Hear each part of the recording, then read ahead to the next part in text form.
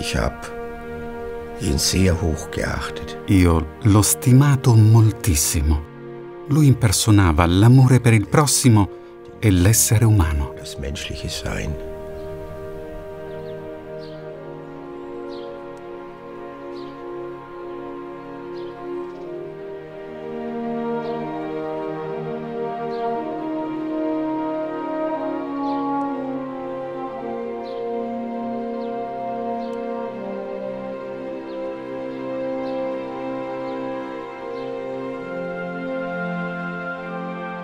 Selbst war so selbstlos. Era così altruista.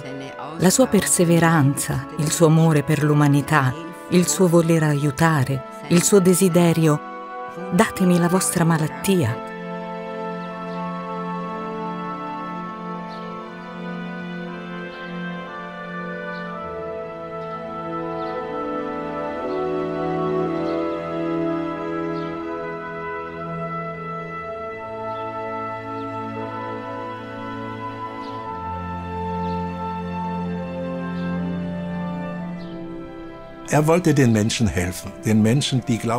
Voleva aiutare gli uomini, gli uomini che credevano che lui li potesse aiutare. E ho la sensazione che lui potesse davvero aiutare molti di loro e ne ha aiutati anche tanti, per quanto gli fosse permesso agire.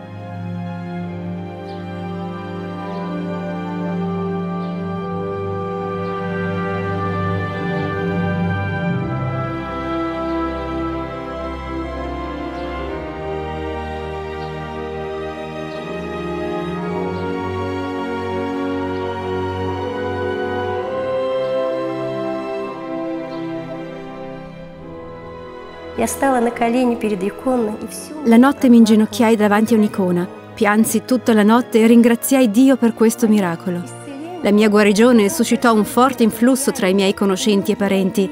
Molti sono poi venuti al circolo degli amici.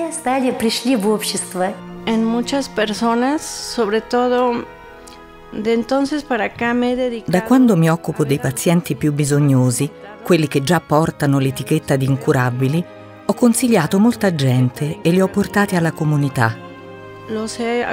E lì poi mi sorprendevo molto nel vedere come si trasformassero. Molti sono di nuovo sani.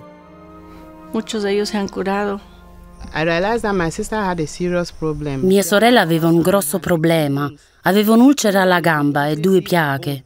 Da uno si vedeva l'osso, era terribile. Noi pensavamo che l'avrebbero amputato la gamba.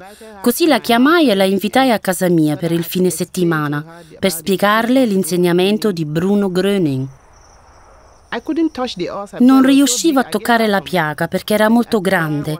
Le diedi dell'acqua sterilizzata perché se la lavasse ogni mattina. Fino a mercoledì pomeriggio, prima dell'ora di comunità, era una ferita aperta. Dopo aver fatto Einstein, distese la gamba e disse: Guarda, la mia gamba è sana. Si vedeva la cicatrice, ma la ferita non c'era più. Io tremavo, barcollavo perché una cosa simile non l'avevo mai vista. Era troppo per me. Non riuscii a combinare niente in tutto il giorno. Shelley Recince è arrivata dal Camerun in Germania alla fine di maggio del 2006, insieme ad amici degli Stati Uniti, Australia, Perù, Thailandia, Kazakistan e da circa 30 altri paesi, visitò la tomba di Bruno Gröning nella cittadina siana di Dillenburg. Bruno Gröning era diventato famoso negli anni 50 come il guaritore miracoloso, quando si raccontavano guarigioni incredibili e decine di migliaia di persone affluivano nei luoghi dove operava. Oggi il circolo degli amici di Bruno Gröning continua la sua opera.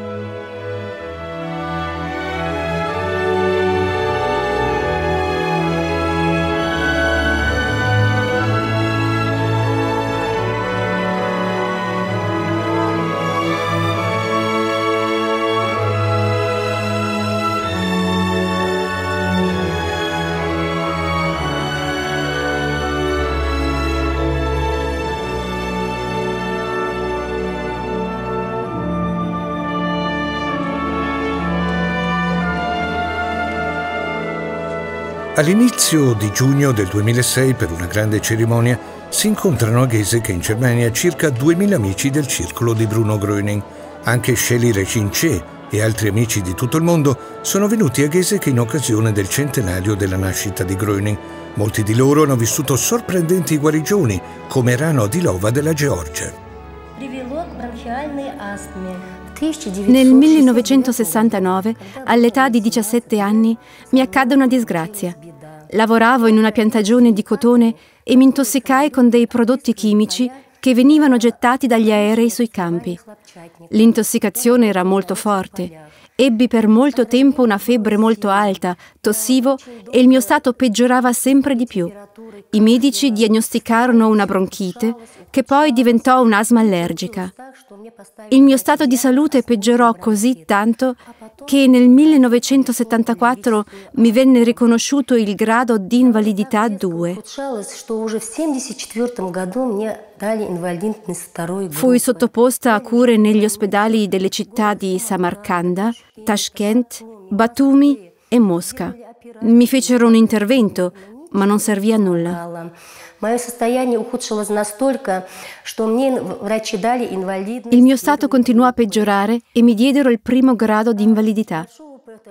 Dato che prendevo 15 pillole di cortisone al giorno, subentrò una osteomalacia dell'anca e del ginocchio.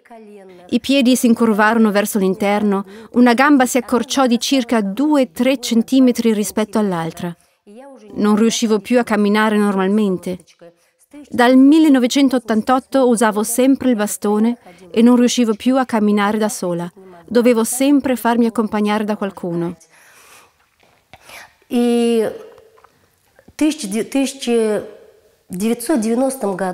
Nel 1990 mi fu riconosciuta dai medici l'invalidità permanente e mi dissero noi non possiamo aiutarla, cerchi di vivere come può, la sua malattia non si può guarire. Non stia troppo a letto, altrimenti diventerà come paralizzata.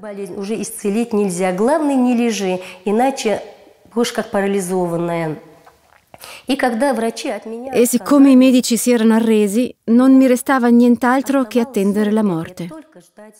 E proprio in questo periodo sentì parlare di Bruno Gröning e del suo insegnamento. E Feci l'introduzione all'insegnamento di Bruno Gröning a maggio del 1998 e a dicembre vissi un grande miracolo. Per dieci anni avevo camminato col bastone. A dicembre una mia amica si era presa una polmonite.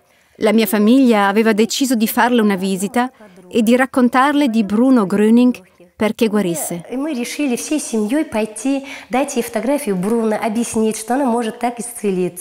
Quando tornammo a casa era già buio. Ad un tratto, non so neanche perché, dissi perché non andiamo a piedi? Erano otto chilometri. Mio figlio disse, «Э, va bene, ma dammi il tuo bastone. Gli diedi il bastone e mi incamminai. Prima lentamente e barcollando, ma poi mi raddrizzai e partii. Non riuscivo a crederci. Gli altri camminavano dietro di me in silenzio. Quando arrivammo a casa, i miei figli e mio marito gioirono, ma io restai in silenzio. La notte mi inginocchiai davanti a un'icona e piansi. Ringraziavo Dio per questo miracolo inaspettato.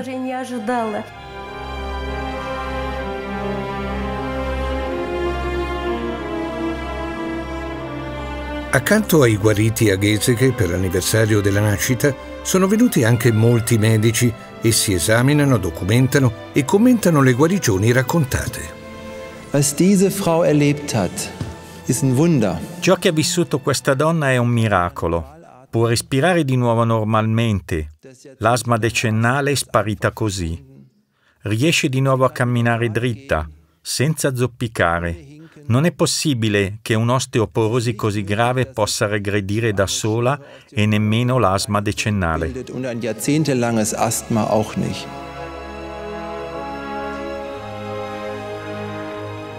Nel 2006 il circolo degli amici di Bruno Gröning comprende circa 60.000 amici.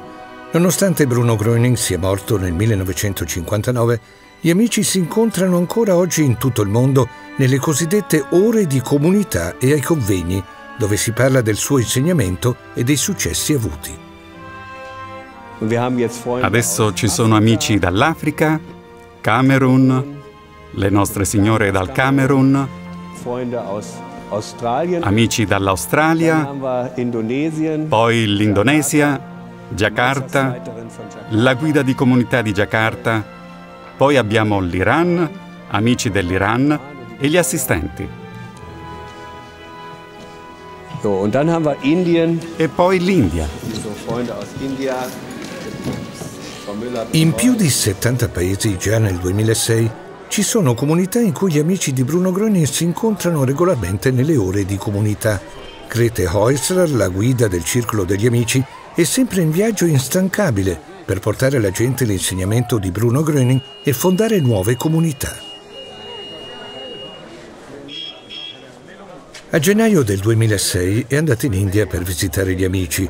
La sua visita è stata accompagnata positivamente dalle autorità locali dello Stato federale di Gujarat è stata accolta da diversi rappresentanti della politica ed è stata data grande ospitalità e riconoscimento a lei e al circolo degli amici di Bruno Gröning. Innanzitutto è stata accolta dallo State Parliament a Ahmedabad nell'ufficio del portavoce dell'Assemblea legislativa del Gujarat, professor Mangat Bhai Patel. Bruno Gomengo e Jai Siamo felici che accadano guarigioni grazie all'insegnamento di Bruno Gröning.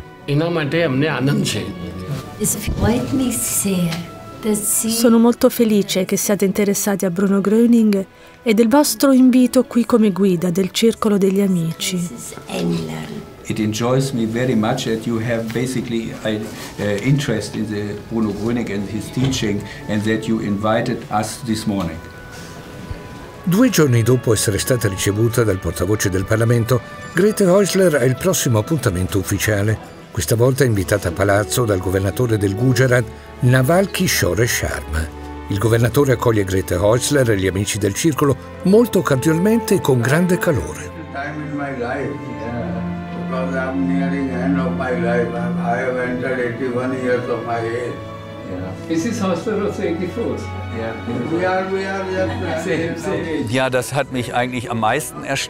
La cosa che più mi ha meravigliato, che non è come da noi in Germania, è il fatto che le autorità e i loro stessi responsabili siano così aperti agli argomenti spirituali, e per Bruno Gröning in particolare.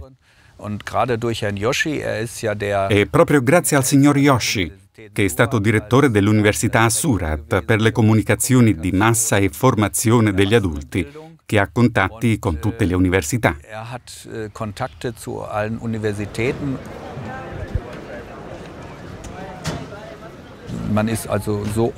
sì, qui in India sono molto aperti, anche nei posti ufficiali, così che gli stessi rappresentanti del governo si occupano dei nostri scritti su Bruno Gröning con grande interesse. E questa è una cosa che da noi è ancora difficile da immaginare.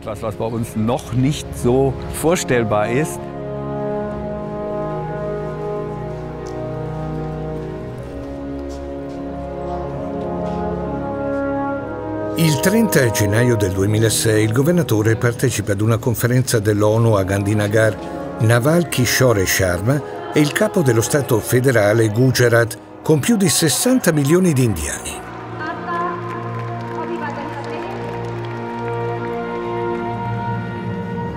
Durante la cerimonia il governatore Sharma consegna a Greta Häusler a nome dell'ONU un'alta onorificenza per l'impegno nell'insegnamento di Bruno Gröning e la pace mondiale. First, Mrs. Grete Häusler, she is International Awardee for excellence in Bruno Groening teaching and world peace. She is awarded for her outstanding contribution and dedication to science.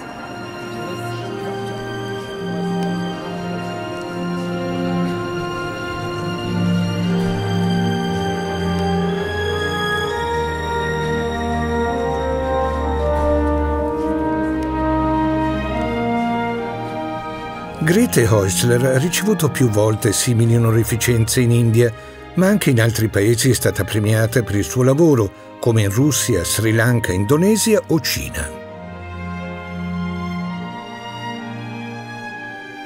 In Perù è stata nominata cittadina onoraria di Trujillo per il suo impegno a favore della salute del popolo. Quando nel 1949 Grete Hoser sentì parlare per la prima volta di Bruno Gröning, lo ritenne un ciarlatano. Invece, nel 1950, durante una sua conferenza a Monaco, visse una guarigione spontanea da tre mali incurabili. Da quel giorno si è dedicata alla sua opera e ha fondato 23 comunità in tutta l'Austria. Im Jahre 1950 kam ich mit Herrn Bruno Gröning das erste Mal zusammen. Nel 1950 incontrai per la prima volta il signor Bruno Gröning.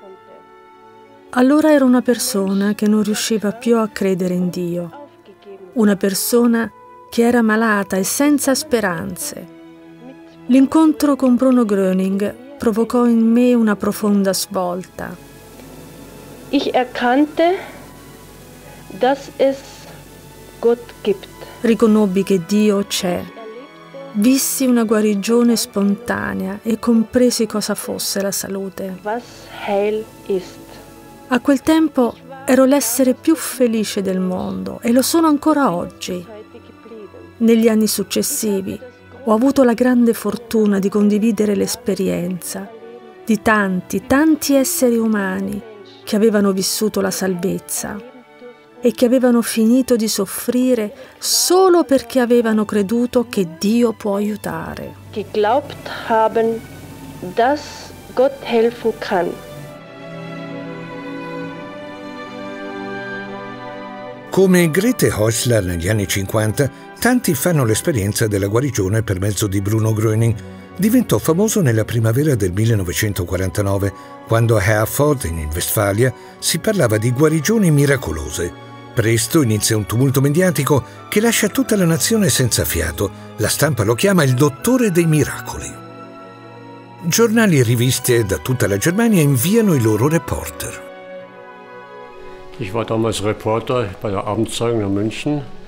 Allora facevo il reporter per l'edizione serale di Monaco. Avevo vent'anni, ovviamente intraprendente, e da Erfurt arrivavano notizie che parlavano di un cosiddetto miracoloso dottor Gröning, perciò fui inviato lì. Era una zona che non conoscevo. In ogni caso la sera arrivai lì e davanti alla casa, per quanto mi ricordo, trovai una folla immensa. C'era buio e pioveva. E siccome si era propagata come un lampo la notizia che lui riusciva a guarire grandi quantità di persone riunite, tutta piazza Wilhelm era affollata.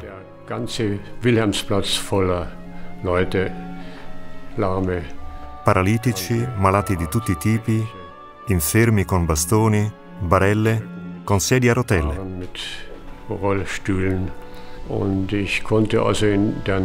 E quella notte sono rimasto di più. Erano due giorni. In ogni caso, durante quelle ore potei vedere qualche guarigione spontanea e come tali le ho descritte. Nel piazzale si sparge la notizia che un paralitico ad un tratto si è alzato Corro sul posto. Adalbert Schneider di Deaschlag, da tre anni completamente paralizzato alle gambe, si è alzato con l'aiuto della sua giovane moglie e ha camminato per circa 20 metri. Quella notte e il sabato seguente ho annotato tra le altre cose le seguenti guarigioni. Cesar Zielinski di Lottinghoff, guarito completamente nell'arco di tre minuti.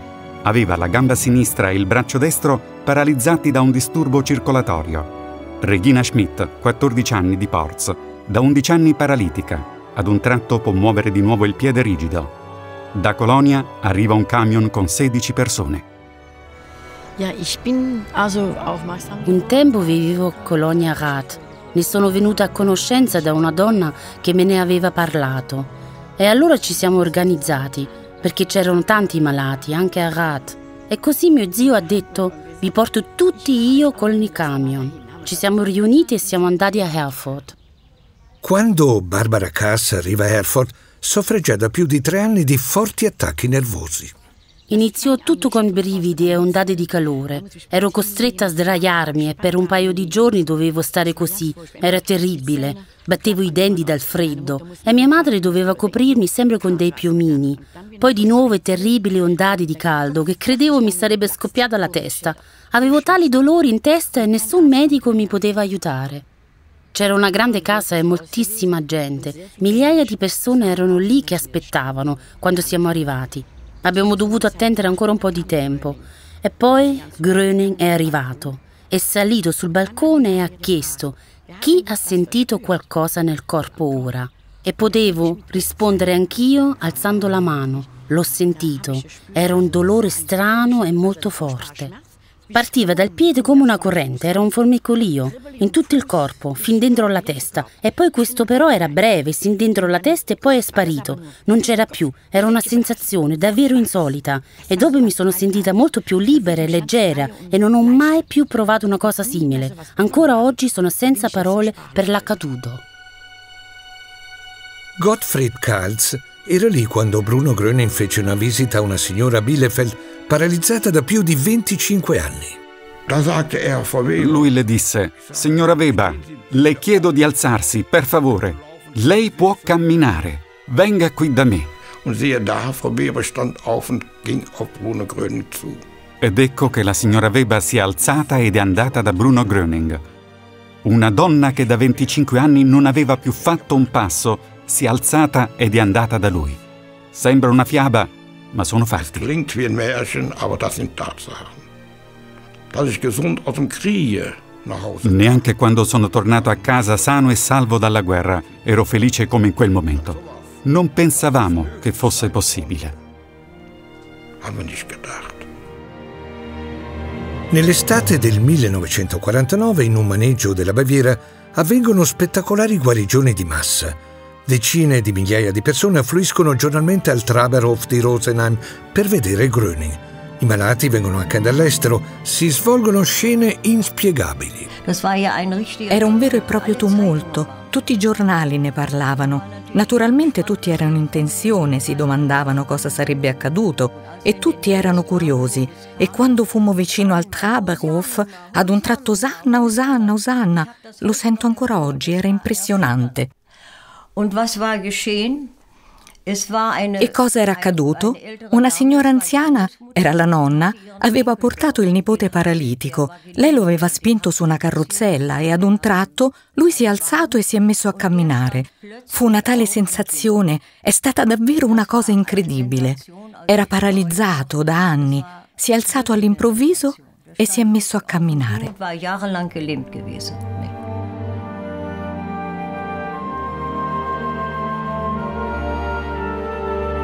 Dove appare Bruno Gröning, un nugolo di malati lo circonda. Il 2 settembre del 1949 il giornale del Sera di Monaco scriveva Ieri sera e questa notte a Monaco, in tre punti della città, ci sono stati enormi raduni di persone che aspettavano il dottore dei miracoli, Bruno Gröning, per essere guariti da lui. La polizia ha cercato di mantenere l'ordine con i suoi mezzi e la squadra mobile. Davanti al palazzo Hetlage si sono radunate circa 4.000 persone fino a notte fonda, nonostante la pioggia insistente. Al Nymphenburg, davanti all'abitazione di un medico, circa 1.500 persone. Lo stesso numero era a Piazza delle Alpi. Cose analoghe racconta il giornalista Rudolf Spitz. Alle 19 erano in migliaia in via Sonne ed erano ancora lì alle 22.30. Ho visto tante cose in cinque anni di guerra, ma mai sono stato così impressionato come nelle quattro ore in cui ero seduto davanti a Bruno Gröning e quella terribile parata della miseria e della sofferenza. Epilettici, ciechi e paralitici sulle stampelle si accalcavano verso di lui. Madri protendevano i loro figli verso Gröning. Svenimenti, urla, implorazioni, preghiere, desideri, sgomenti. Ma gli eventi intorno a Bruno Gröning creano anche resistenze, nonostante il Ministero degli Interni della Baviera e il Presidente del Consiglio siano dalla sua parte, la situazione peggiora notevolmente. C'erano anche alcuni professori che si sono sentiti in dovere di farlo passare per ciarlatano e descrivere il tutto come suggestione o autosuggestione. Molto facile da dire. Non si sono mai presi la briga di approfondire il fenomeno. Questo non rientrava negli schemi della medicina tradizionale. Da quando Bruno Gröning è divenuto celebre al pubblico, le autorità lo tengono sotto controllo. A Herford ebbe il divieto di guarire già a maggio del 49. Anche in Baviera, nonostante la benevolenza iniziale, nel settembre del 50 gli viene proibito di guarire. Poi a Monaco nel 51-52 si giunge ad un processo con l'accusa di esercizio abusivo della professione medica e i suoi seguaci non sono gli unici a ritenere esagerata la reazione delle autorità. Non ci sarebbe stato bisogno di vietargli nulla, non ce n'era motivo. Lo stesso primo ministro Erhard ha detto lo si deve lasciare agire. Naturalmente tutto deve essere sottoposto a regole ordinate, ma la legge non era così. Certo, io non posso giudicare perché non sono un uomo di legge, ma non ho visto nessuna infrazione della legge in lui. Gröning è dichiarato innocente ma da lui si pretende chiaramente di astenersi in futuro da ogni pratica di guarigione senza il consenso dello Stato. Al fine di evitare altri confronti con la legge, Gröning fa costituire un'associazione. La Lega Gröning ha il compito di proteggere il suo operato spirituale. Per quelli in cerca di aiuto e quelli guariti crea le comunità. Lì i suoi amici si incontrano nelle cosiddette ore di comunità, si occupano del suo insegnamento e raccontano i loro successi. Lo stesso Bruno Gröning prende parte a queste ore di comunità, ma solo come oratore, tenendo conferenze sulla fede e senza praticare alcun tipo di attività guaritrice. Nonostante ciò, continuano ad accadere guarigioni inspiegabili. Wir haben ein Zimmer ausgeräumt und haben das Abbiamo svuotato una stanza e messo delle travi da costruzione su dei cavalletti e lì potevano sedersi 60 persone. Siamo riusciti a sistemarci tutti senza problemi. Poi abbiamo portato dentro una ragazza con la barella. Aveva poco di più di 18 anni e l'abbiamo sistemata di lato. La ragazza, completamente paralizzata, ha avuto la guarigione durante le quattro ore di conferenza, senza che Bruno Gröning avesse fatto nulla.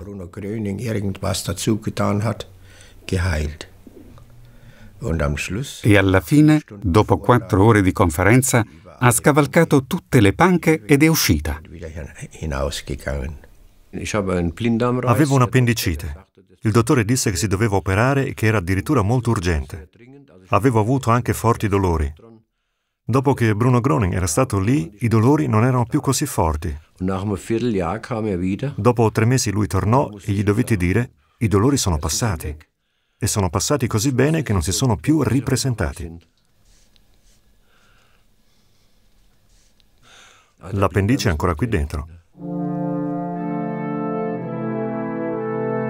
Nel 1955, malgrado, forse proprio per via di queste guarigioni, Bruno Gröning verrà messo ancora sotto accusa.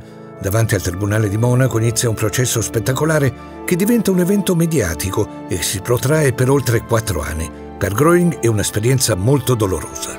Er er mi è dispiaciuto per lui. Già allora mi dispiaceva perché, come ho detto, non riuscivo a liberarmi dall'idea che venisse sfruttato. E questo dispiaceva a mia moglie e a me.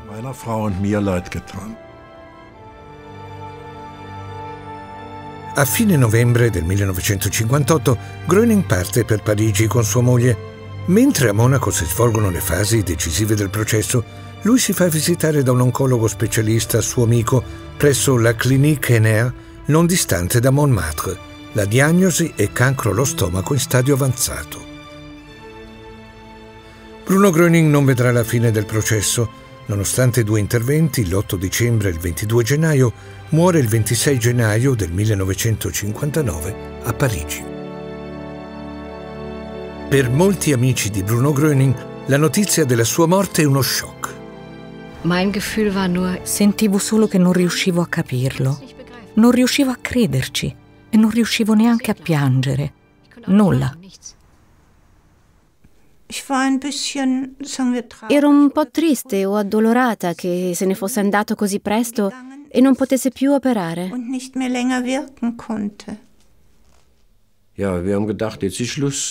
Sì, abbiamo pensato ora è finita. Ci siamo riuniti ancora un paio di volte e ognuno ha creduto che fosse finita.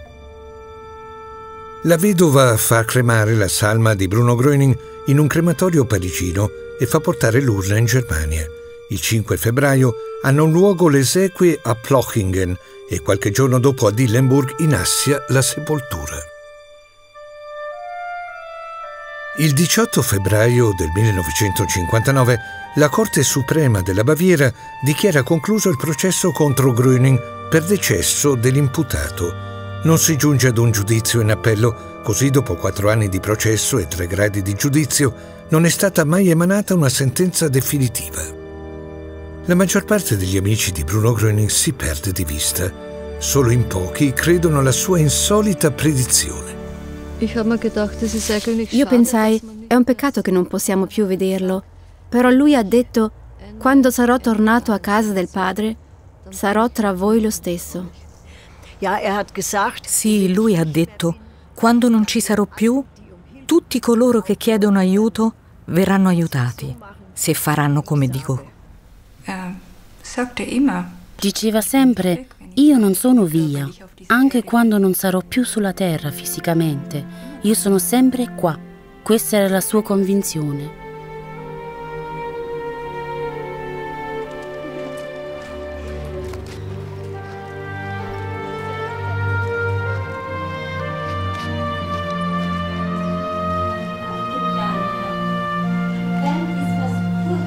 Durante la visita di Greta Häusler in India nel gennaio del 2006, la profezia di Bruno Gröning si era già avverata da tempo.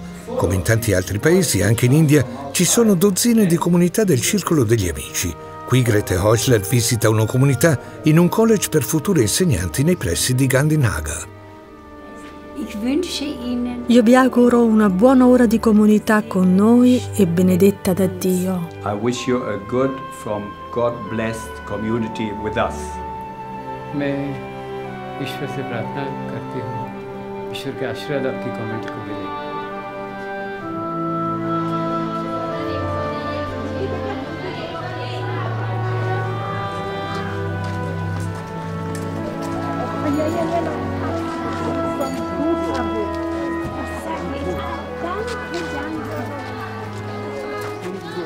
India ci sono comunità già dalla metà degli anni 90. Manfred Fortman, che accompagna Grete Häusler durante i suoi viaggi, ricorda gli inizi. Es begann alles damit, dass ein Inder, der in Deutschland lebt, ein Herr Agrawal, Tutto iniziò con un indiano che viveva in Germania, un certo signor Agrawal, che parlò con la signora Häusler e le chiese se fosse possibile che il circolo fosse attivo anche in India e di prendere contatto con i suoi parenti. La signora Häusler ebbe qualche dubbio all'inizio, perché in India esistono già molti gruppi spirituali e maestri e guaritori di ogni cosa possibile. E così ci furono perplessità all'inizio, ma la prima visita ebbe luogo comunque e c'ero anch'io. äh, äh. Ci ha toccato molto vedere la vita qui in India, la povertà degli esseri umani. Molti dormono sui marciapiedi nella sporcizia e i bambini, bambini mendicanti. Questo ci ha toccato così tanto che abbiamo detto sì, in India manca Bruno Gröning per aiutare davvero le persone. Qui in India in molte regioni si svolgono convegni regolarmente già da molti anni, così come a Gantinaga nel gennaio del 2006. In questi convegni gli amici si sintonizzano insieme per la ricezione dello Heilstrom, si scambiano le esperienze con l'insegnamento di Bruno Gröning e ascoltano le testimonianze di successo.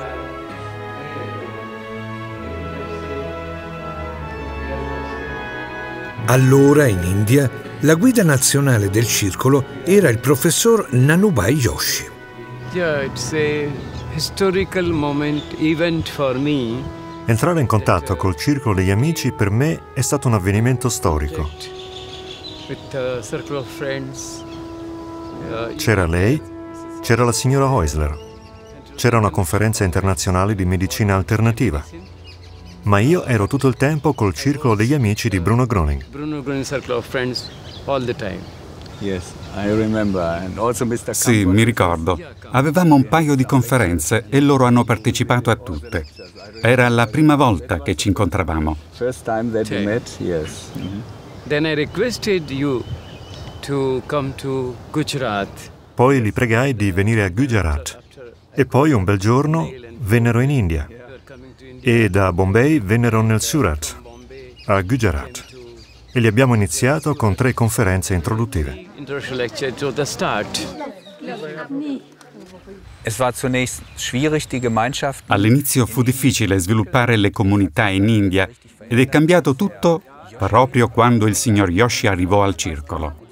In seguito ebbe anche una grande guarigione. Soffriva di una grave malattia legata allo zucchero, il diabete. Aveva valori estremamente alti, al di sopra dei 500, e doveva anche seguire una dieta rigida. Er. I was invited for the Youth Week in Berlin. Fui invitato alla settimana dei giovani a Berlino. Prima di questo avevo grossi problemi di glicemia. Mi faceva male la gamba, le articolazioni, i miei occhi erano deboli. Anche i miei denti e il mio stato fisico era pessimo. Ma durante la settimana dei giovani mi sentivo molto bene e leggero. Era piacevole e iniziai a mangiare dolciumi, anche gelati, ma non ebbi la possibilità di testare il diabete. Uh.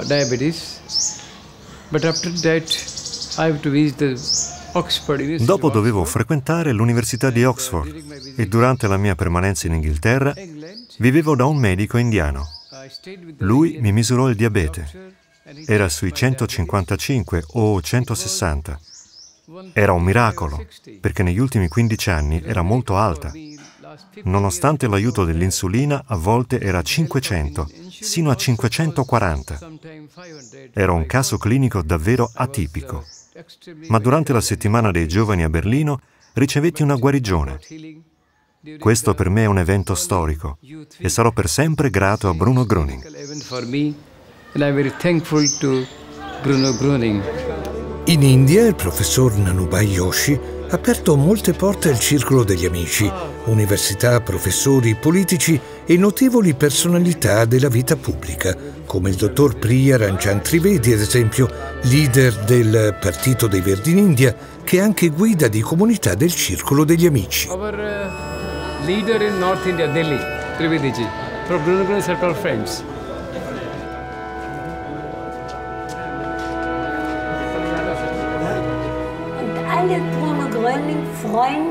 Una settimana dopo la sua visita in India all'inizio del febbraio del 2006, Grete Häusler parte per l'Africa. Guida un convegno a Koforidua nel Ghana. Sono venuti anche amici di altri paesi africani, tra questi il dottor Do Ganyonga, re del Balignonga nel Camerun. Se voi foste una persona come me, il capo di una grande famiglia e la guida di tante persone, e voleste aiutare la gente, penso che quello che avete voi sia la cosa migliore.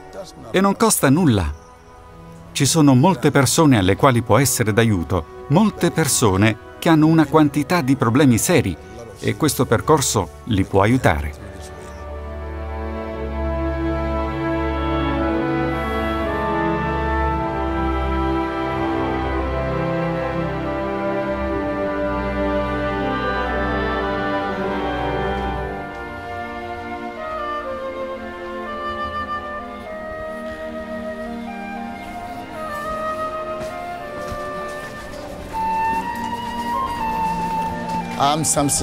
Mi chiamo Samson Agetey, guido la comunità di Accra in Ghana. Vi mostro un po' il paesaggio e le testimonianze di successo.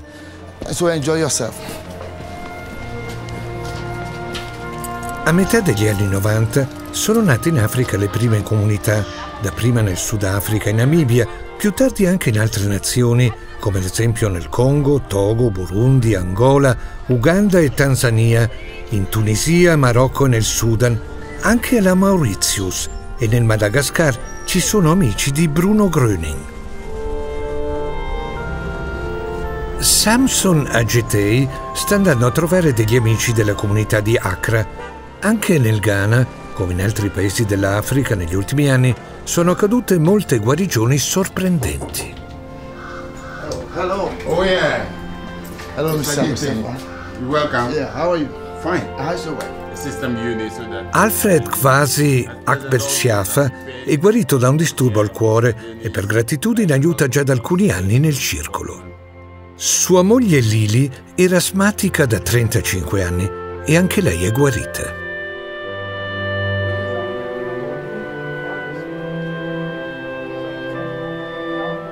Anche un medico del Togo è venuto al convegno del Ghana. Cercando una via di guarigione per mia moglie, sono venuto a conoscenza dell'insegnamento di Bruno Gröning. Era malata già da otto anni. Aveva forti attacchi di emicrania accompagnati da debolezza, stanchezza e insufficienza respiratoria. Respirava a malapena. In breve, un malessere generale. Dormiva poco, passava praticamente notti insonni. Non riusciva più a fare i lavori di casa. Dovetti assumere una domestica che si occupasse dei bambini. Un mio amico mi parlò dell'insegnamento di Bruno Greni e di un convegno nel Ghana dal 3 al 5 febbraio del 2006.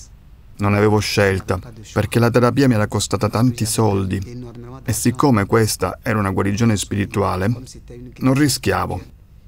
Partii per il Ghana, partecipai al convegno e ritornai a Lomé il 7 febbraio. E le 7 j'étais revenu à Lomé e progressivement a poco a poco iniziò a riprendersi, il mal di testa sparì, la respirazione migliorò e il sonno è ritornato. Dorme bene. In famiglia ritornava la gioia. Nell'arco di tre mesi, tutto questo dolore, tutto questo malessere è scomparso e mia moglie è guarita. Ringrazio Dio. Adesso riesce a dormire, si occupa delle faccende di casa. Non abbiamo più bisogno di qualcuno che si occupi dei nostri tre figli. È completamente guarita. Anche Shelly Regine Che del Camerun è venuta al convegno del Ghana. Soffriva di malaria dall'infanzia. Per decenni ha avuto attacchi di malaria con febbre e forti mal di testa. I was in and out of hospital with malaria. Ero sempre in ospedale per via della malaria. Provai tutti i nuovi medicinali per la malaria, ma niente sembrava aiutarmi. Lavoravo in ospedale insieme a tanti medici e andavo da un medico all'altro con la speranza di essere curata. Avevano tutti compassione per me, facevano quello che potevano, ma io non miglioravo. Die Frau Che ist eine langjährige Bekannte von mir. Conosco la signora Che da anni. Ho vissuto per 11 anni nel Camerun e in quel periodo era una mia collega dell'ospedale. Lei è assistente dietologa e io lavoravo nell'ospedale provinciale di Bamenda come medico. In effetti lei aveva un'ottima assistenza medica. Una volta al mese andava anche da un famoso professore nella capitale Yaoundé che la trattava in modo specifico per la malaria. Mi raccontò di aver provato tutte le terapie possibili, naturalmente anche quelle tradizionali. Ha cambiato alimentazione, ha fatto tutto quello che poteva fare e ha provato tutte le vie della medicina tradizionale. Non usciva più da questo circolo vizioso. Ogni 4-6 settimane aveva attacchi di malaria. La dottoressa Gagnonga conosceva bene il mio problema mi diede il libretto Introduzione all'insegnamento di Bruno Gröning e disse che pensava potesse aiutarmi. Prima di ritornare in Germania mi portò un paio di cassette introduttive all'insegnamento di Bruno Gröning. Le ascoltai ogni giorno, ogni mattina, ogni notte, cercando di fare Einstellen e piano piano mi sentii meglio. Un anno dopo sono ritornata nel Camerun. Proprio come la prima volta, quando andai in macchina dal villaggio di mio marito al capoluogo della provincia, ed è una città di circa 100.000 abitanti, andai sulla Commercial Avenue, che è la strada commerciale più importante. Lì la prima persona che incontrai fu la signora Che. Devo ammettere che questa cosa mi ha davvero impressionato. Non sapevo neanche come stesse, così le ho detto Ma signora Ce, che fa qui? Come sta? E allora lei mi ha detto di essere sana. La malaria l'ho proprio dimenticata dal 2004. Non ci ho pensato neanche una volta e mi resi conto che stavo proprio bene. Dunque era aprile del 2004 e da allora non si è più sentita malata. Per un periodo temeva di fare l'esame perché pensava se nel sangue ho di nuovo la malaria, smetto di nuovo di credere. Poi nel 2006 ha trovato il coraggio, ha fatto un esame del sangue e l'ha rifatto dopo due mesi. E gli agenti patogeni della malaria non c'erano più. Ed è rimasto così fino ad oggi. Und es ist bis heute so geblieben.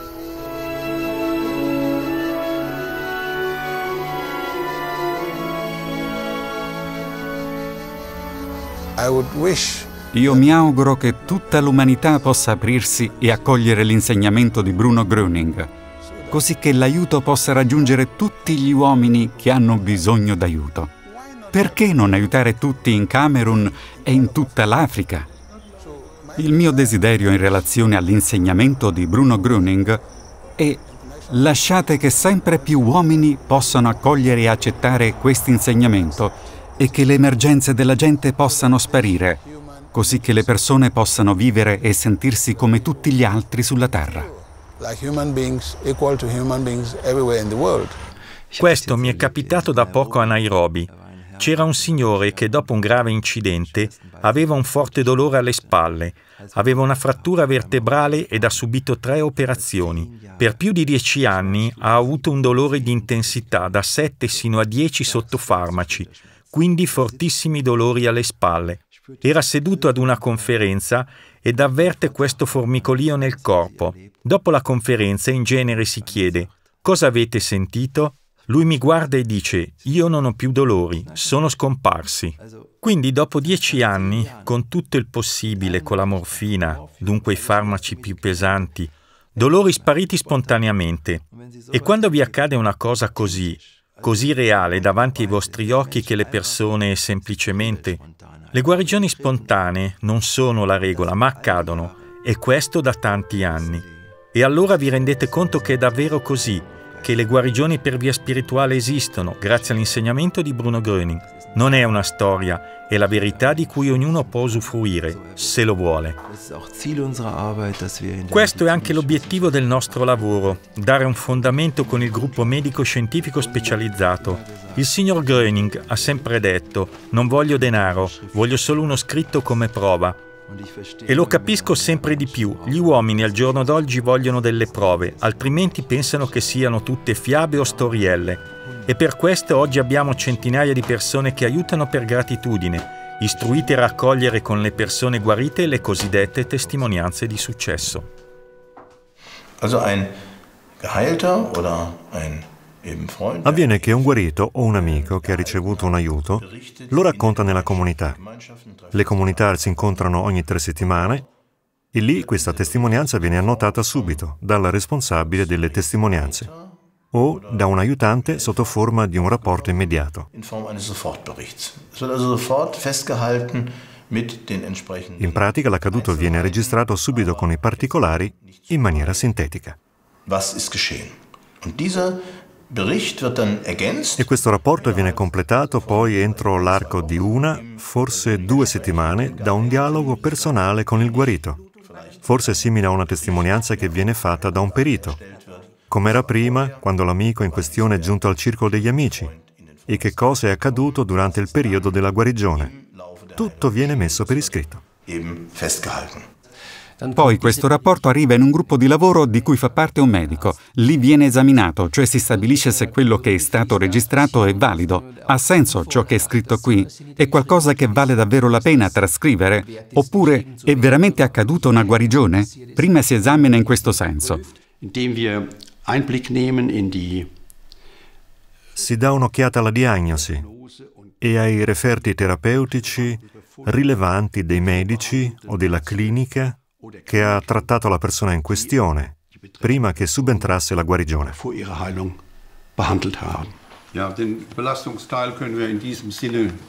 Sì, la parte riguardante il disturbo si può lasciare e accettare così com'è. E così andiamo avanti con la seconda e la terza parte. Quando una guarigione si definisce per via spirituale, si consiglia di solito una seconda visita specifica, fatta solitamente da un medico non di parte, che non opera nel circolo degli amici di Bruno Groning.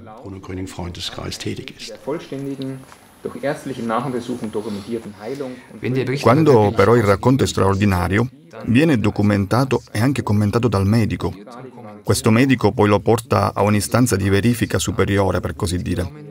È un circolo di lavoro di soli medici di varie specializzazioni. Ci sono anche veterinari e psichiatri che sottopongono la testimonianza a un severo esame finale. Osservano ancora una volta con la loro formazione specialistica se si tratti davvero di una guarigione per via spirituale, che non può essere spiegata altrimenti. Si fa visitare di nuovo dal medico che constata un miglioramento. Le articolazioni non sono più gonfie, l'assenza del dolore continua e può essere messa in relazione con l'introduzione all'insegnamento di Bruno Gröning. E i referti corrispondono? I referti sono meravigliosi, tutto è proprio come indicato, verificato con tutti i referti di laboratorio prima e dopo. Solo allora viene autorizzato e classificato. Allora un rapporto così si può inviare in Germania per essere inserito in archivio. Das kommt per Post hier an. Arriva qui per posta da tutto il mondo, da tutti i paesi collegati. Il primo livello è la cosiddetta elaborazione finale, cioè l'archiviazione cartacea ed elettronica, l'archiviazione sistematica dei rapporti per nazione e anno. Und das hier ist unser Papierarchiv, E questo è il nostro archivio cartaceo che abbiamo diviso in sottogruppi per nazione e anno. Sì, e qui c'è il secondo armadio. Qui ci sono i raccoglitori più recenti, anche qui da tutti i paesi. Ähm. Vi mostro un paio di testimonianze dalla Germania.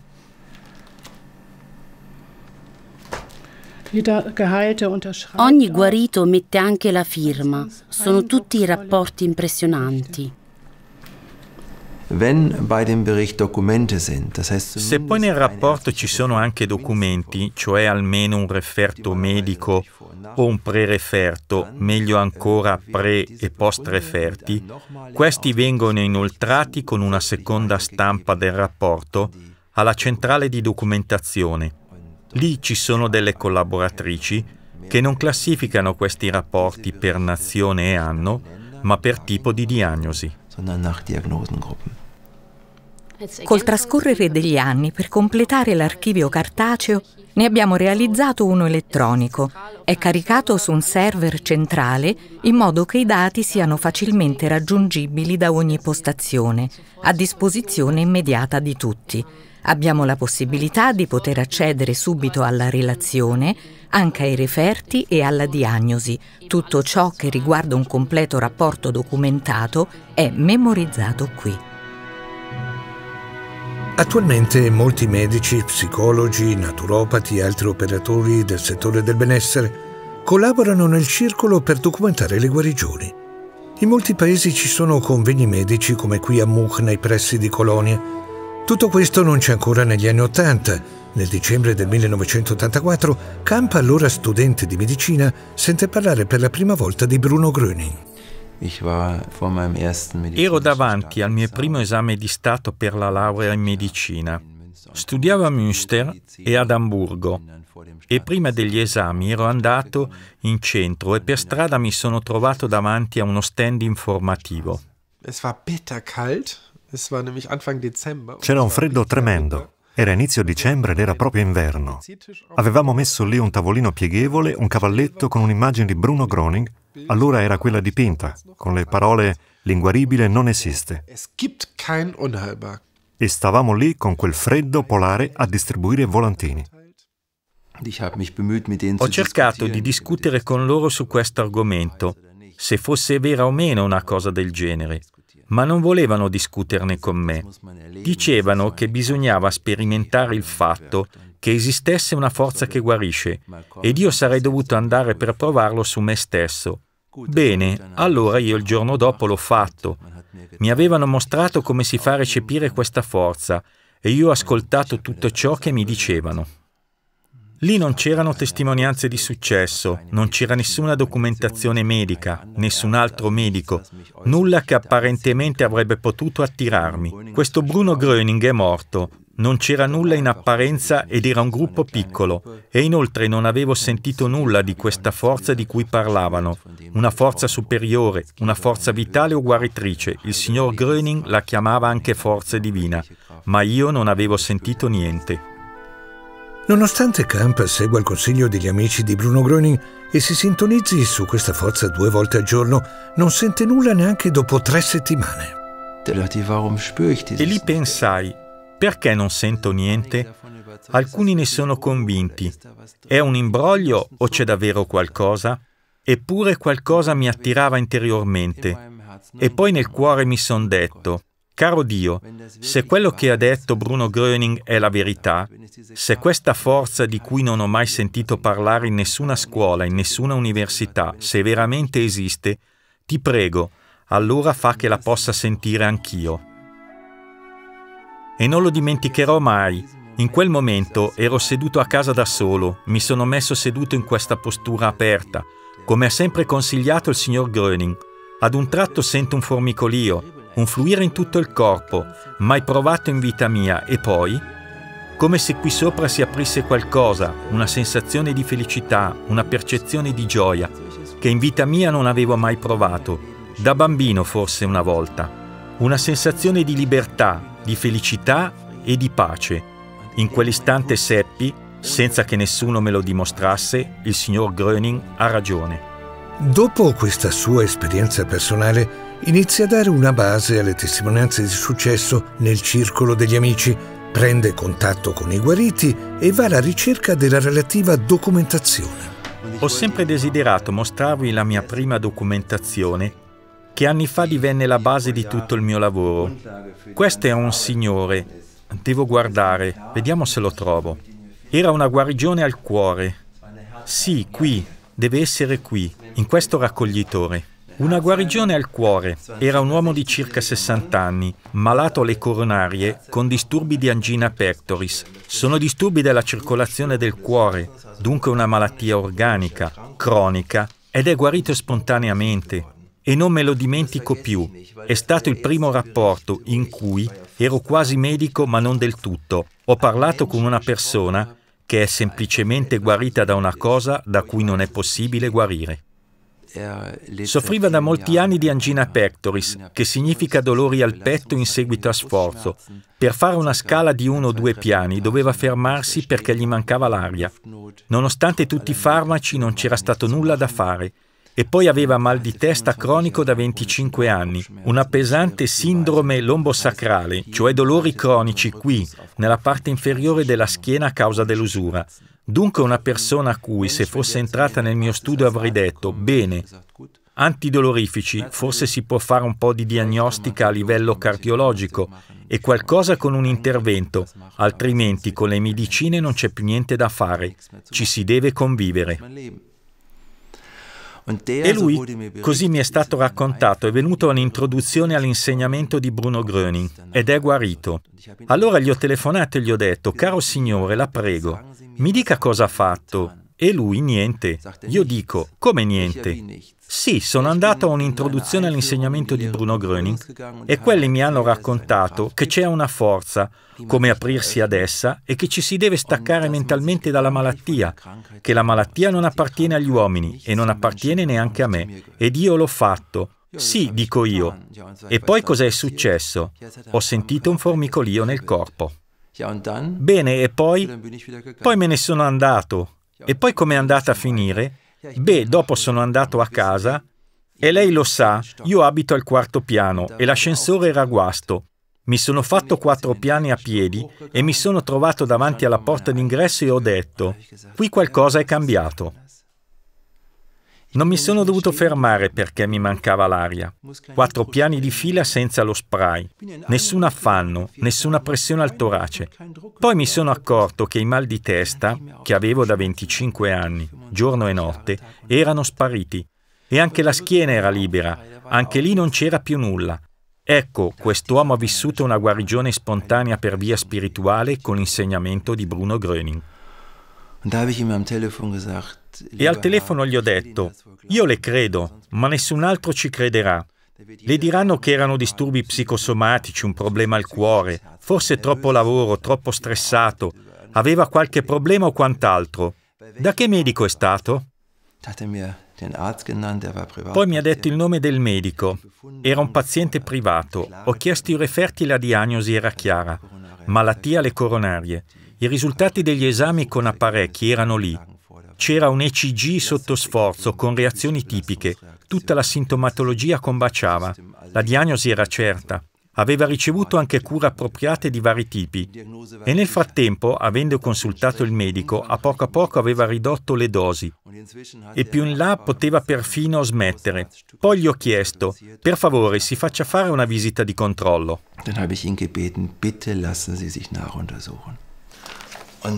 Era il momento giusto per me un momento particolare. Quando ho visto i documenti, i referti prima e dopo, in cui era evidente dagli esami obiettivi che fosse accaduto qualcosa, non era solo una sensazione della persona, c'era stata una guarigione da una malattia alle coronarie. Lui mi ha addirittura raccontato che va di nuovo a fare le escursioni in montagna, nella foresta nera, fa danze popolari, non ha più dolori. Qui abbiamo i referti. È documentato molto bene l'ECG, che si tratta di una malattia alle coronarie con segni tipici. E poi qui nei risultati finali. Non aveva più bisogno di medicine. Di nuovo lo stesso esame. E i segni non ci sono più. Dunque un normalissimo e sano ECG sotto sforzo. E da allora ho capito che come medico qui devo prendere sul serio il lavoro e le cose che accadono nel circolo degli amici di Bruno Gröning. Non posso ignorarlo. Negli anni seguenti al circolo degli amici di Bruno Gröning arrivano sempre più medici e operatori del benessere. Nel 1992 Camp si rivolge a Grete Häusler e propone, visto il numero crescente degli amici provenienti dal settore medico, di creare un gruppo proprio per loro. Grete Häusler accetta. Mi è giunto un pensiero, disse lei. Gruppo medico scientifico specializzato del circolo degli amici di Bruno Gröning. Lo sviluppo sino ad oggi per lo più lo conoscete. Abbiamo parlato nelle università con inviti ufficiali e richieste e sono arrivati sempre più medici. Und es sind auch immer mehr Ärzte dazugekommen. Sì, vengono tantissime persone in cerca di guarigione che hanno fatto di tutto, che sono già passati attraverso tutti gli stadi della medicina e dei metodi alternativi, non sono comunque guariti e continuano la loro ricerca a loro possiamo dire qui c'è ancora qualcosa che potete fare ed è per me una grande gioia anche nel contesto di conferenze vedere queste persone guarire a volte spontaneamente, oppure quando tempo dopo, dopo un anno o un paio di settimane, quello e quell'altro sono guariti dopo la conferenza perché l'hanno messo in pratica. Sì, penso che la domanda del perché io faccio questo sia molto importante. Un tempo non avrei mai creduto che avrei fatto una cosa del genere, ma nell'ambito della mia professione di medico ho notato oppure ho dovuto sperimentare che nel nostro lavoro siamo spesso inermi davanti alla sofferenza perché vengono dei pazienti che chiedono insistentemente cosa posso fare oppure può fare ancora qualcosa per me e spesso abbiamo le mani legate. Per questo sono così felice perché abbiamo questa possibilità di offrire all'umanità un cammino che mostra come possano ottenere la guarigione da soli. Con questa conoscenza e queste cognizioni voglio aiutare a diffonderlo, perché al punto in cui ci troviamo ora non può essere che la medicina resti ferma solo alla scienza. Perché mi stimola il fatto che ci sia qualcos'altro oltre a quello che abbiamo studiato all'università e sapere che su questo cammino l'uomo può essere aiutato mi riempie di gioia e di entusiasmo. Punkt 3, Heilung. Ho vissuto la guarigione anche su me stesso. All'inizio non me ne ero neanche accorto. Avevo avuto, posso dire praticamente dalla nascita, una cosiddetta sindrome del colon irritabile. Non era indispensabile una terapia o un altro approccio, ma avevo la diarrea ogni mattina e poi all'improvviso è scomparsa. Questo naturalmente ha dato un nuovo aspetto alla mia vita. Mi ha anche dato molta più forza, dato che assimilavo i cibi molto meglio. Nahrung gut aufnehmen konnte. Ich kann sagen, dass ich im Posso dire che anche nel mio modo di fare come medico sono più calmo, non solo nella pratica coi pazienti, ma anche nella pianificazione di corsi di formazione, nella realizzazione di corsi formativi nelle conferenze. E poi un'altra cosa, questo mi ha toccato molto allora, avevo una lesione del menisco interno destro, un trauma da sport al ginocchio destro. Così dai miei colleghi mi era stato consigliato un intervento. Tra l'altro, un'operazione molto complicata con il cosiddetto spostamento della rotula, cosa che naturalmente rifiutai da subito.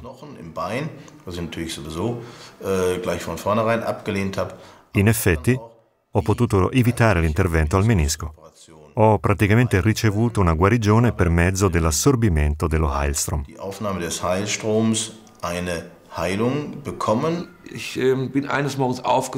Una mattina mi sono svegliato con una paresi totale alla parte sinistra del viso.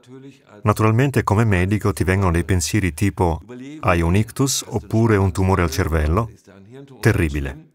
Così sono andato dal mio otorino laringoiatra che mi assiste. Lui mi ha tranquillizzato e mi ha detto ma no, signor Lobeck, questa è una paresi a causa di un'infammazione del nervo facciale ma io sono andato lo stesso a fare una risonanza magnetica e un attack alla testa. Grazie a Dio, tutto a posto. Il mio Torino laringoiatra mi aveva detto che sarebbe durata almeno due settimane e all'inizio sarebbe stata pesante. Oh no! E io che avevo due impegni importanti, sabato dovevo tenere una conferenza per pazienti e lunedì una per medici. E poi questa affermazione, peggiorerà. Allora ho fatto Einstein e ho pregato perché potessi ricevere aiuto e dopo tre giorni era passato tutto. Tutta la paresi era sparita. Potevo parlare liberamente e così io stesso ho avuto l'esperienza di un meraviglioso aiuto. Soffrivo di un'allergia, un raffreddore da fieno già all'età di 18 anni. Allora ne avevo 35 e all'inizio, quando cercavo contatto con questa comunità, con questo gruppo, non fu facile, non riuscivo a contattare nessuno. Fui ricontattato però alcune settimane più tardi ed era metà giugno del 96 e proprio nel periodo peggiore del mio problema, che avevo ancora a quel tempo.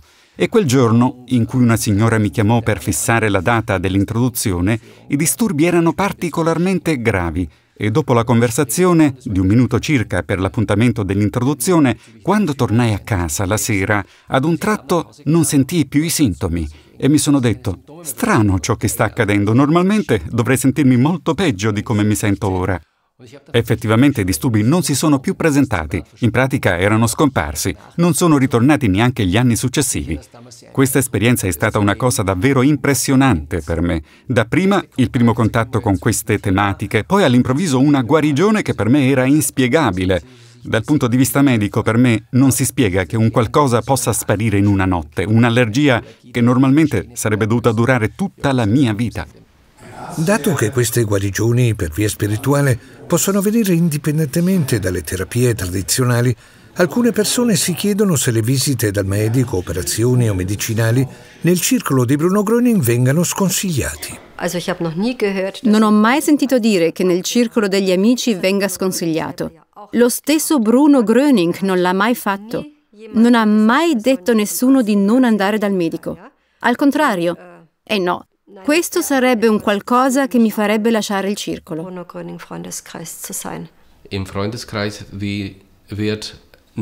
Nel circolo non si sconsiglia mai di andare dal medico, di prendere medicinali o di fare un'operazione. Ed è anche molto importante che non venga mai data la garanzia che subentri una guarigione. E questo lo sottolineiamo anche nelle conferenze informative. Perché se una guarigione arriva o no, questo dipende semplicemente da Dio, da questa forza e dalla capacità dell'uomo di accoglierla.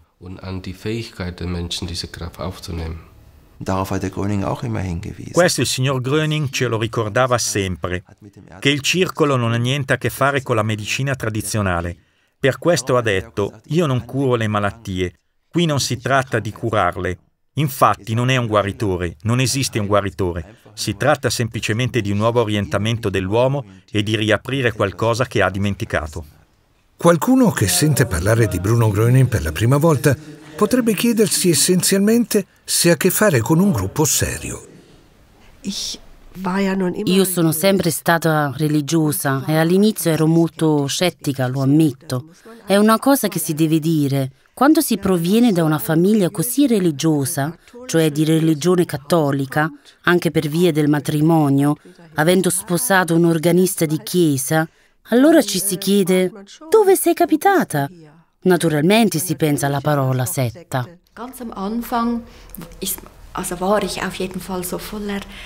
Proprio all'inizio ero contenta. Sì, dicevo, è qualcosa di bello, di buono, e ne ho parlato con tutti. Con la mia famiglia e con gli amici, al lavoro.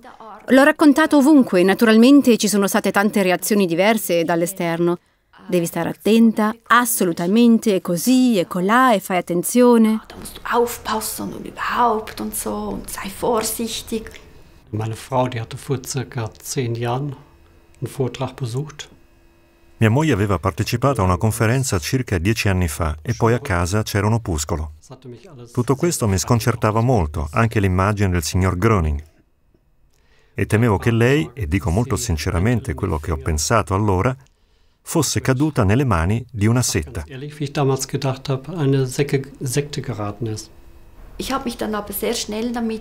E così ho fatto subito delle ricerche sulla parola setta. Che cos'è una setta? E l'ho approfondito per me stessa. Il circolo degli amici, come lo percepisco, come lo vedo, le sensazioni che ho provato e cosa fosse in realtà una setta. E poi mi sono detta, no, non è una setta, perché qui la propria volontà è in primo piano. Der freie Wille ist so groß geschrieben hier. Ciò che per me è stato molto decisivo riguardo al compito che svolgevo nel circolo era che la libertà personale rimane sempre. Se qualcosa non dovesse andarmi giù, posso dire da un giorno all'altro, addio, non ci sto, cercatevene un altro. O meglio, posso andarmene senza che nessuno mi insegua. Qui nessuno mi ha mai detto quello che non devo fare o ordinato di fare qualcosa o di dare del denaro. Tutto ciò non rientra in quella che è la definizione di una setta e anche il fatto che io non debba lasciare la mia religione. Al contrario, ho veramente ritrovato la mia fede.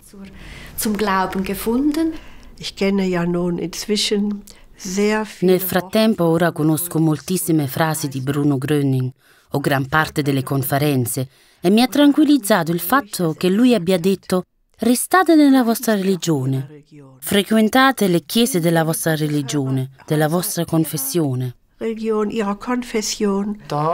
Mi piace il fatto che Bruno Gröning abbia anche stabilito il cammino da seguire. Lui stesso ha detto non voglio creare una nuova religione, sono qui per tutti gli uomini, non importa di quale religione o nazione, e ha detto persino che desidera che gli uomini ritornino alle loro religioni, dunque vivendo la fede nelle loro chiese. Proprio il contrario di quello che noi chiamiamo restrizione. Bruno Gröning qui ha segnato il cammino da seguire in modo molto chiaro. Non vogliamo assolutamente dare l'impressione di una setta, dove qualcuno viene costretto a fare qualcosa o giurare qualcosa o a qualcuno. Lasciare una cosa e doverne fare un'altra. No, il circolo degli amici è libero.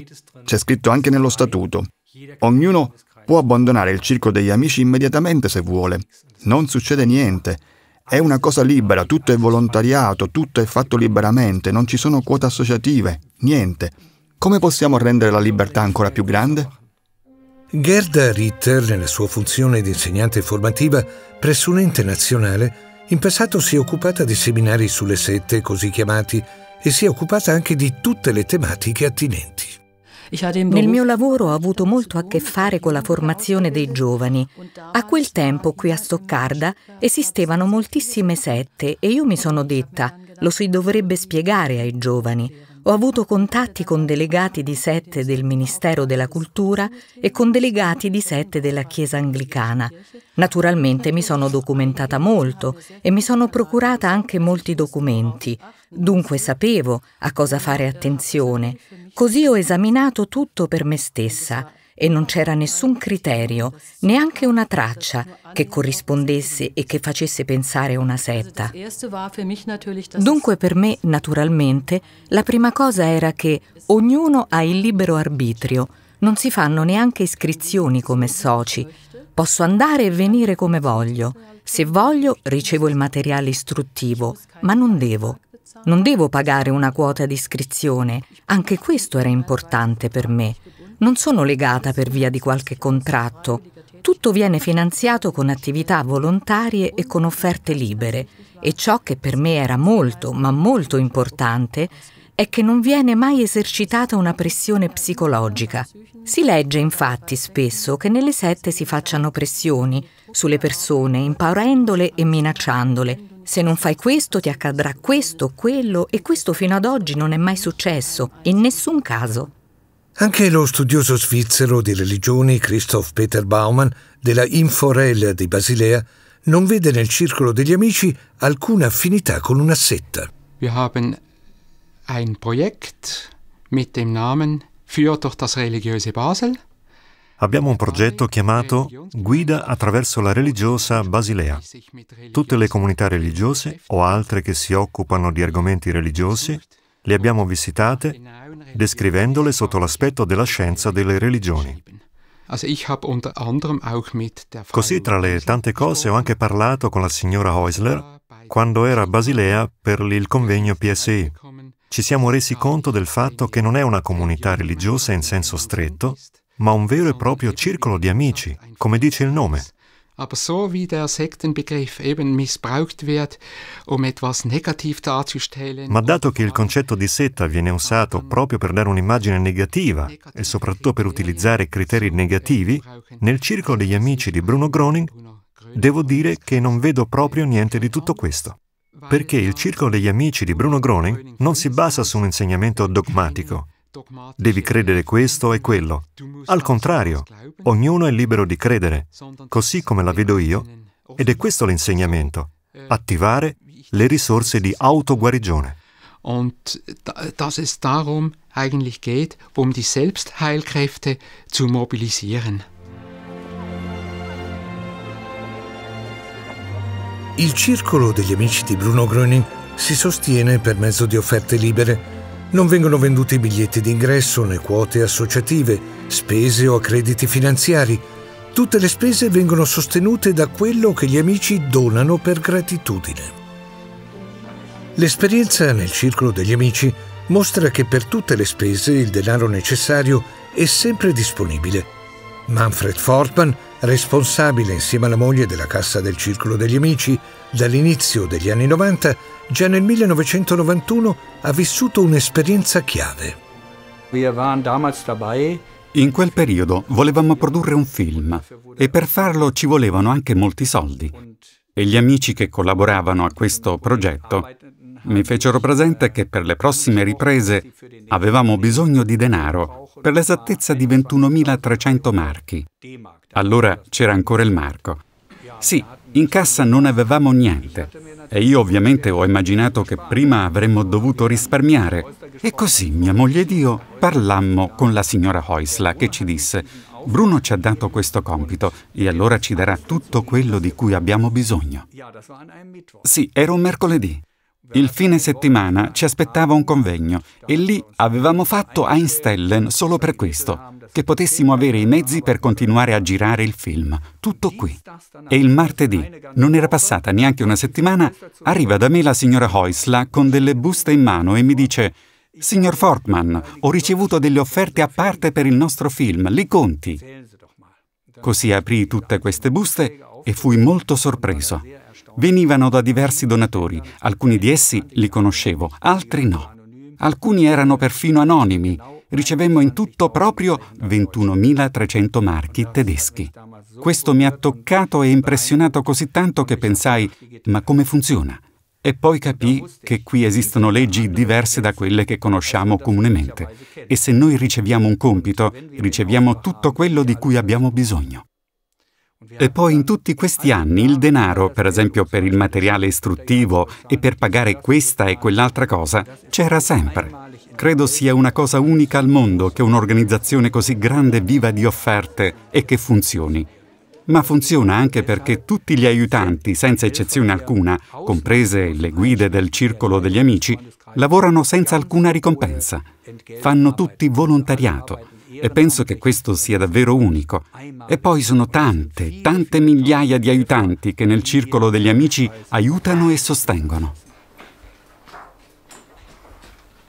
Mia madre mi raccontava spesso che Bruno Gröning ha detto la guarigione non si può comprare e io non vendo la corrente guaritrice divina. Questo era chiaramente il suo motto e mia madre nel circolo questo motto l'ha scritto a caratteri cubitali. Ciò significa che nel circolo degli amici non c'è niente con cui si possa guadagnare denaro. Così il circolo non ha spese di personale e questo rende la cosa molto gradevole perché tutti gli aspetti legati al denaro rimangono fuori. Nessuno si sente svantaggiato. Ogni amico lavora qui semplicemente per gratitudine, con entusiasmo, con gioia e col desiderio di aiutare. Und wo die Not am allergrößten ist, da ist die Hilfe Gottes am nächsten.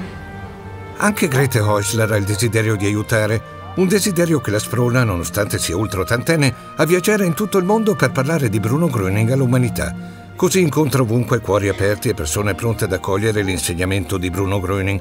Nel 1959 la situazione era completamente diversa. Quando Bruno Gröning morì, la maggior parte degli amici si disperse e i primi anni fu quasi impossibile averne di nuovi per il suo insegnamento. Le porte erano chiuse, i cuori chiusi, ero disperata. Ho invitato la vicina di casa, dei parenti. Il giorno dopo hanno disdetto l'invito. Era di nuovo tutto finito. Era un periodo di una difficoltà che non potete neanche immaginare. Devono passare tre anni prima che Greta Häusler possa condividere la guarigione di qualcuno. Nel frattempo ha tre bambini e una donna delle pulizie, la quale era cieca da un occhio da 14 anni e anche l'altro era debole. Sei medici, degli specialisti per l'esattezza, avevano detto che non avrebbe più riacquistato la vista. Un giorno, mentre spolverava, la foto di Bruno Gröning le cadde di mano, andando in frantomi. Le dissi, sa chi è quest'uomo? Sollevò la foto da terra e raccolse i cocci. No, allora dissi, questo è Bruno Gröning, grazie al quale ho avuto la guarigione. La signora guardò la foto e disse, cosa succede ora? Sento come una corrente elettrica dalla testa ai piedi. In quell'istante ha sentito per la prima volta la forza guaritrice e poi le ho raccontato di Bruno Gröning, come l'ho vissuto io. Poco dopo venne e mi disse, ho un mal di testa così forte. Io le dissi, va bene così, sta accadendo qualcosa nella sua testa e questo è bene. Questo è lo Heilstrom e sta già operando.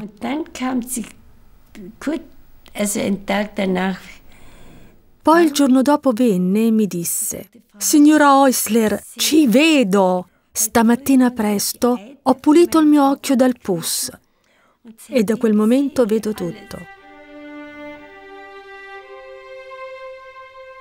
Solo nel 1964 il tanto atteso desiderio di Grete Häusler si esaudisce e può fondare una prima comunità Oberhausen-Sterkrade, gli amici, 4 o 5, si incontrano in gruppi molto piccoli. Negli anni seguenti si aggiunge qualche nuova comunità, ma tutto sommato i primi dieci anni dopo il ritorno a casa di Bruno Gröning fu un lungo periodo di magra. Nel 1969 si incontrano alcuni dei vecchi amici per una cerimonia commemorativa al Traberhof a Rosenheim. E poi abbiamo celebrato l'anniversario del decennio. Il Traberhof c'era ancora e noi ci siamo riuniti, il signor Pelz con sua moglie, la signora Bavai col marito e qualche altro amico fedele. È stata una festa commemorativa meravigliosa. Es war eine wunderbare Dankesfeier.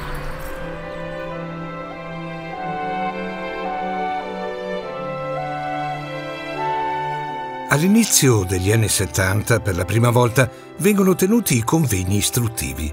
In questo momento tutta l'opera di Bruno Gröning comprende solo dei 50 e 60 amici.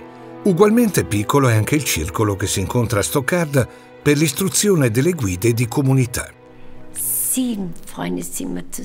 Ci siamo incontrati in sette e l'anno dopo eravamo già 14. Ognuno ha raccontato le esperienze vissute con Bruno Gröning. Questa era la cosa più bella, la più meravigliosa. E lì ho avuto il coraggio di dire, eh sì, e la gente per strada, che ne è di loro? Noi stiamo bene qui. Se c'è qualcosa facciamo einstellen. Bruno aiuta. Arrivano le guarigioni. Ma quelli come possono venire a sapere? Dobbiamo renderlo pubblico, mettere inserzioni sui giornali per dire che le guarigioni continuano.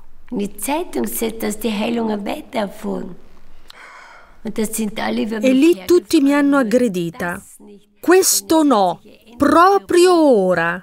Finalmente che si è calmato tutto ciò che è stato scritto su Bruno Gröning nel male. E lei ora vuole risvegliarlo con la stampa. Allora mi sono ascoltata e sapevo deve essere così. E per questo mi sono recata al settimanale Das Neue Blatt e ho pregato che scrivessero in un articolo che le guarigioni continuano. Das Neue Blatt ne parla a settembre del 1974 si presentano circa 200 persone in cerca di aiuto, sorgono nuove comunità e avvengono grandi guarigioni. A quel tempo andai dalla signora Heusler con gravi disturbi per l'introduzione. In verità era tutto giunto alla fine. Avevo bravi medici a disposizione che non sapevano più che fare. Anche mio marito lavorava in ospedale, quindi eravamo assistiti bene, ma la guarigione non arrivava e dato che niente mi poteva aiutare, arrivai al circolo. Avevo grossi problemi alla colonna vertebrale per via di un incidente. Ero molto slogata e avevo grosse limitazioni nei movimenti e dolori. Un disco vertebrale era logorato. Questo causava colpi della strega, dolori forti e anche limitazioni nei movimenti. Avevo problemi di metabolismo nella zona dello stomaco e dell'intestino, una pancreatite, all'inizio acuta, poi è diventata cronica, un'infiammazione del pancreas, dunque, che richiedeva una severa dieta che mi provocava forti coliche se non la rispettavo. E poi un continuo disturbo ai reni, suppurazione, abbassamento e calcoli renali, due grosse ulcere nella parte bassa dell'intestino crasso. Avevo la pressione bassissima, reumatismi muscolari in entrambi i lati della colonna vertebrale, con noduli grossi come uova. Cominciai a fare dei fanghi, bagni termali, massaggi. Faceva tutto bene, alleggeriva il dolore, ma non guarivo. Alla fine tutto il mio corpo era arrivato agli sgoccioli e mi fu dato un aiuto. Mi furono assegnate anche delle infermiere. L'ortopedico mi disse che se non avessi seguito tutte le indicazioni non avrei di certo visto crescere i miei bambini, come tanto desideravo.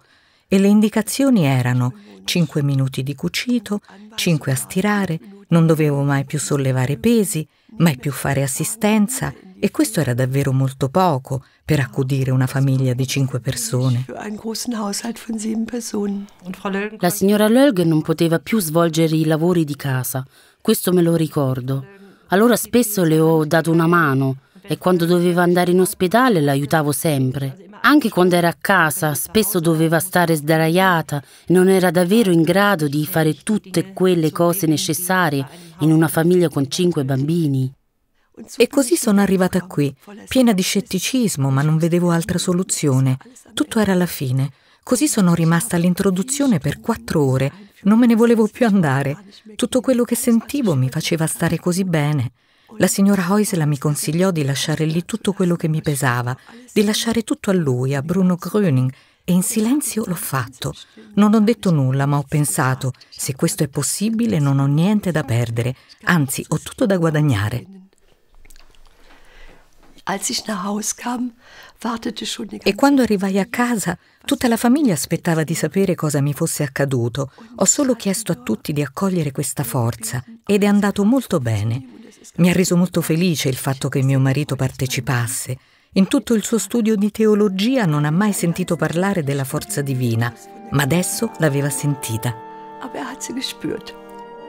La notte seguente Lilian Lulgen avverte ancora forti dolori, ma la mattina dopo ha una grande sorpresa. Sono saltata giù dal letto, cosa che prima non potevo fare, e non avevo più dolori. Dopo tutti quegli anni, non avere dolori era una cosa meravigliosa. Potevo alzare le braccia, girare la testa di fianco. Questo prima non era scontato. Prima, per via dei reumatismi, le potevo alzare solo un po', non sentivo più i noduli che prima si avvertivano bene al tatto, sì, e poi nessun dolore nella zona dello stomaco. E lì ho sentito che Dio è molto più vicino di quanto io possa immaginare e che ama e aiuta tutti. E poi sono andata dall'ortopedico, dietro consiglio della signora Heusler, quando ha sentito che lavoravo di nuovo, ha fatto subito delle radiografie perché mi aveva detto che sarei vissuta ancora per poco se avessi fatto tutte quelle cose.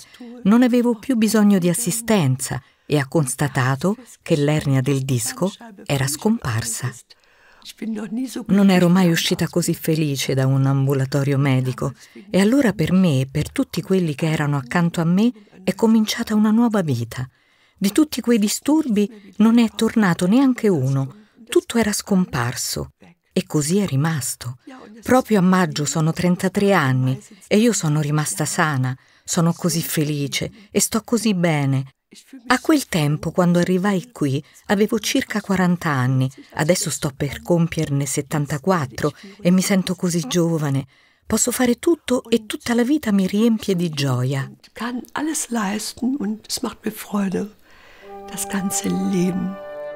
Alla fine del 1967 sul Das Neue Blatt viene pubblicato un secondo articolo che parla delle guarigioni avvenute dopo il primo. Questo causa un vero e proprio tumulto. Dalla Germania, Austria, dalla Svizzera e altri paesi giungono 2400 richieste d'aiuto. Il telefono squilla dalla mattina alla sera, arrivano dalle 25 alle 100 lettere al giorno e ci sono di continuo persone in cerca di aiuto davanti alla porta. Qualche volta la sera tardi c'erano delle persone davanti alla nostra porta a Colonia. Lei sa qualcosa di Bruno Gröning?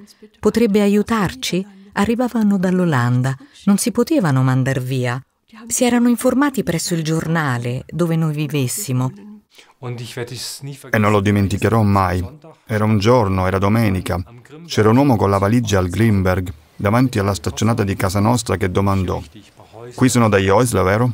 Mamma, c'è un signore. Sì, venga. Da dove viene? Vengo dalla Svizzera. Ho letto questo articolo in cui c'è scritto che qui si può guarire. Per favore mi aiuti. Io me lo ricordo proprio come se fosse ancora davanti a me.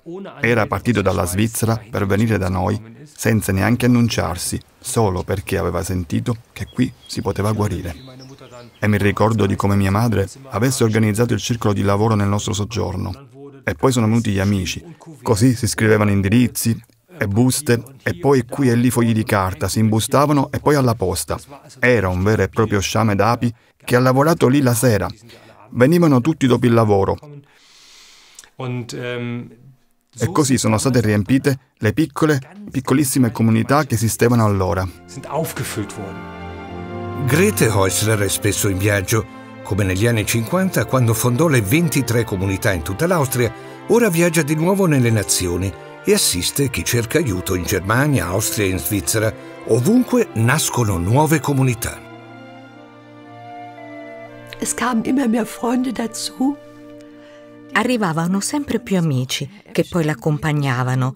C'era il signor Epstein che aveva ricevuto una grande guarigione dal cancro e ci furono tante guarigioni. Era una gioia condividere le guarigioni, spesso spontanee, si andava in Svizzera, in Francia, in Austria, in Baviera, ovunque c'erano comunità molto piccole. In Svizzera trovavano tutti posto in salotto. Anche lì grandi guarigioni. Lì dove arrivava la signora Heusler c'erano grandi guarigioni. Nessun luogo era troppo lontano per lei e per lei era importante chiunque cercasse aiuto. E questo per l'associazione era come una spina nel fianco. Nonostante lei portasse delle offerte a casa, viaggiare ovunque era troppo costoso. La cassa e il cassiere erano cambiati. C'era un signore che era direttore di una banca e pensava che fosse troppo dispendioso. E poi un bel giorno disse che in Svizzera ora dovevamo farcela da soli. Perché? Perché non c'è abbastanza denaro. L'associazione e il cassiere hanno detto non abbiamo abbastanza soldi per finanziare i viaggi in Svizzera, quindi non le sarà più permesso andare. Così le tolsero l'incarico e non poteva più andare in Svizzera. E così furono abbandonati a se stessi ed è difficile tenere in piedi una comunità attraverso il telefono. Allora tutto è crollato. Mia madre era agitata e ha detto, non si può, il denaro non può comandarci, non possiamo fare ciò che dice il cassiere. La situazione continuò a peggiorare fino a raggiungere il culmine il 15 maggio del 1979. Con una cartolina postale il comitato chiede in modo conciso a Greta Häusler di dimettersi.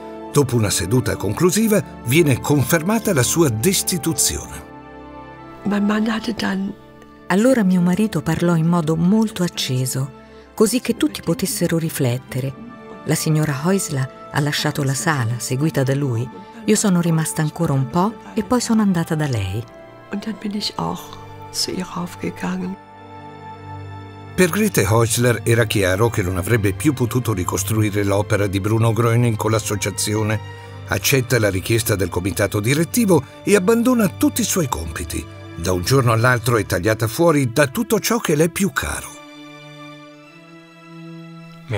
Sì, questo per lei fu molto pesante perché venne separata da tutti i suoi amici. Da un giorno all'altro le fu proibito di avere contatti con queste persone o intraprendere qualsiasi attività con loro, perché questi erano amici dell'associazione e lei ne era stata estromessa, come se, mi verrebbe quasi da dire, come se lei non fosse più nessuno. In una delle memorie di quel periodo scriveva in quei giorni solo uno poteva aiutarmi e questo era Bruno Gröning. E per me non fu difficile, non ero triste, era come se mi fossi liberata. Era una cosa molto strana, invece di piangere sentivo gioia. Lo capii lentamente, passo dopo passo. Un sabato, il 23 giugno, mi giunse il pensiero continuare e io mi decisi a continuare, a fare ciò che mi veniva messo tra le mani dall'alto la gente non me lo può proibire ed io non me lo faccio impedire da nessuno. Che venga chi vuole.